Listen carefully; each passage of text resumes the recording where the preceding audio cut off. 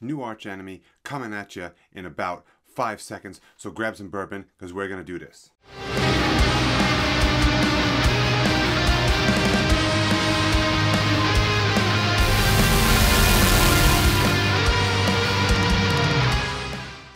What's up, guys? I'm Jimmy Ledoux, and this is Jimmy's World. This is your first time here? Thanks for tuning in. If not, welcome back. Alissa White Gluz makes me want to sing Oh Canada. Freaking dropped a new single album. I don't know. I just saw it pop up on my thing, uh, my feed, whatever you want to call it, and I'm like, dude, she is so smoking hot. And if you haven't seen her already, you've got to check her out. And this is going to be your first foray into her. If you have, and you probably already have, and you know exactly who she is and what she does, and what she brings to the table, you're going to love this song. So if you haven't already, please, huge favor, tap the subscribe button. I know you're listening. I know you want to. And we could use the subscribers because we love you and we love your suggestions and we want you to never miss anything. So tap the notification bell while you are at it. And if you want to pick my next reaction, go to Patreon, become a member of Jimmy's crew, and you can pick mine, and you will love it. So if you're ready to kick it up a notch, get into a little arch enemy, deceiver, deceiver, official video, grab your bourbon, and let's do this. Three, two, one, blow.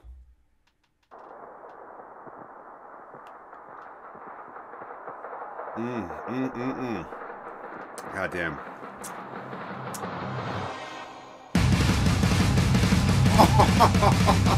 Oh, yeah.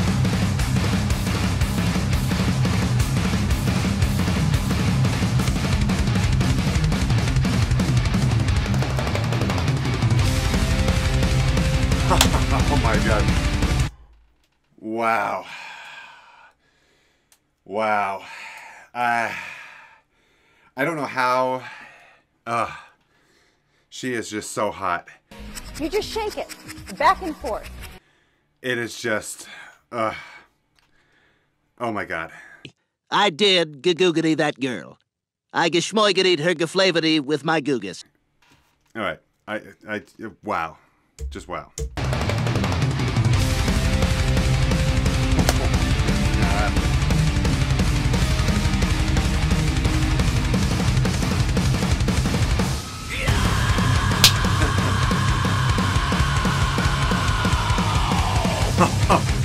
Fucking Matrix.